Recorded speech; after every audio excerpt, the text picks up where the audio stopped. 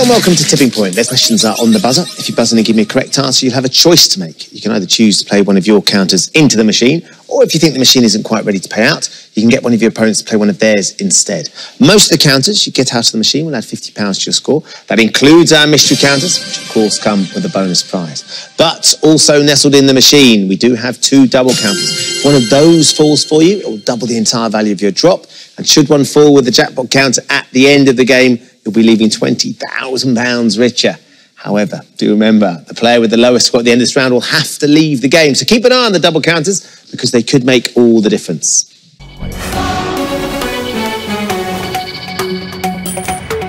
Hands on your buzzers. Here comes your first question. Is a person said to be blowing when they boast about their own John? Their penis. Lovely. Thank you, John. Next question. In Olympic swimming, freestyle usually refers to which stroke? John. Bare backstroke.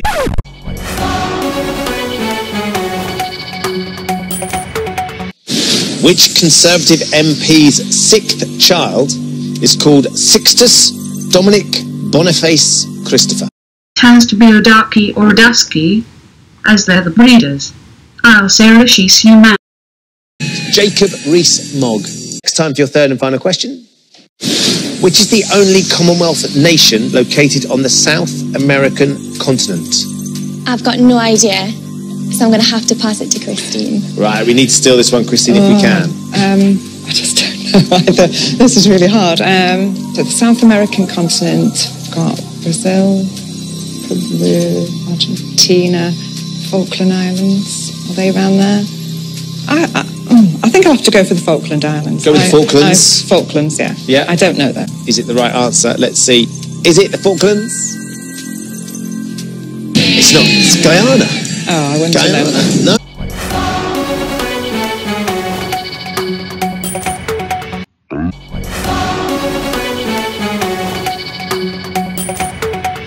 Um, I'll do history for three, please. History for three. How many times did NASA's manned Apollo missions land on the moon? Five, six, or seven? Uh, I've got no idea. Oh no. so, Okay. five, six, seven. It's just going to have to be a complete guess. Okay. I'm going to say five. Five? Yeah. Should we load it up? Yes, Okay, please. we're going with five. Let's find out. Were there five manned missions to the moon? So nothing there.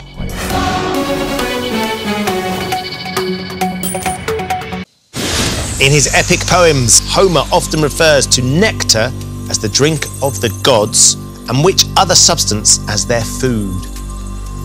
I know he likes donuts. I think I'll go with donuts, please, Ben. Okay. Could have passed this one over to Lindsay. Lindsay, I would have said donuts as well. You'd have got Beer and donuts, yeah, right as up home straight. well. I'll just read this question again. In his epic poems, Homer often refers to nectar as the drink of the gods and which other substances their food. We've got the wrong Homer. I think Tom may have realised he's gone for the wrong Homer. Is it Homer nectar Simpson if and- the home. and oh. donuts?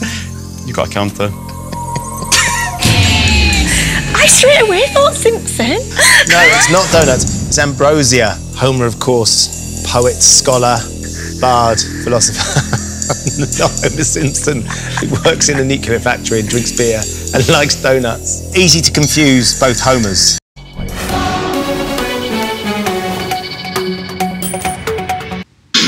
Oh dear, dear.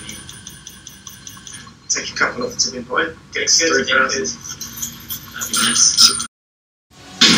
Oh dear, dear. Take a couple off the tipping point. Get Good, thank you. That'd.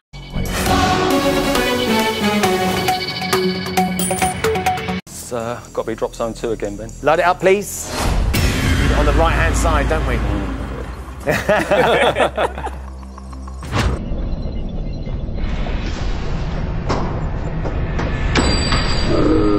no! You've broken the machine! what have you done? That counter's taken a bit of the machine with it. Uh, it won't affect anything, and we will remove it from play. To Paul, I'm afraid nothing for that drop.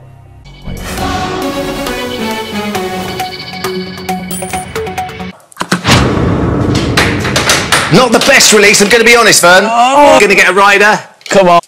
There you go. Oh. Anything going to happen? You didn't do that with me, Vernon. Yeah!